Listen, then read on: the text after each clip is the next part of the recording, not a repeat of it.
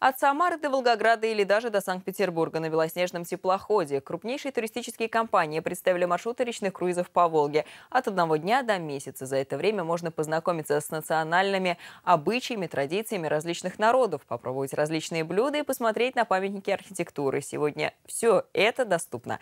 Подробнее в следующем материале. Все волнуются, ждут только 10 минут.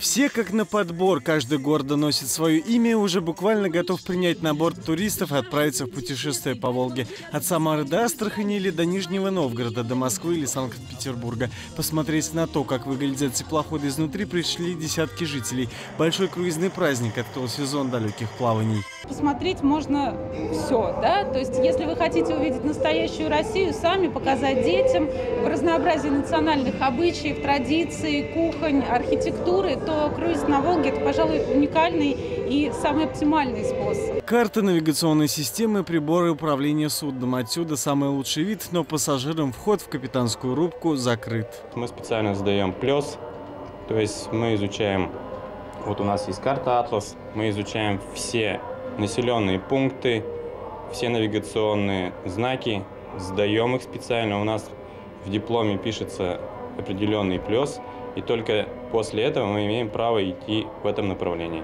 Удовольствие не из дешевых, но именно такую альтернативу зарубежным поездкам по системе «Все включено» ежегодно предпочитает тысячи самарских туристов.